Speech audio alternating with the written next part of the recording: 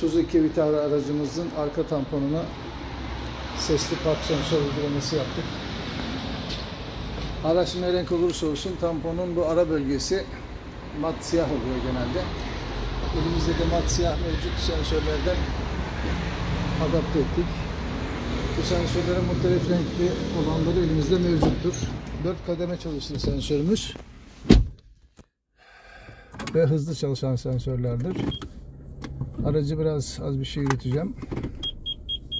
Şu an dükkanın köşelerini algılıyor. Ve arkası boşa geldiği anda ses gitti. Geri vitese aracı taktığınızda arkada bir şey, kimse yokken kısa bir bık yapar. Sensör çalıştığını test eder.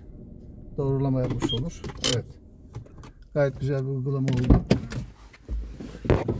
İş yerimizde bu uygulamaların montajda satışını yapıyoruz. Video altındaki iletişim bilgilerinden bizimle bağlantı kurabilirsiniz.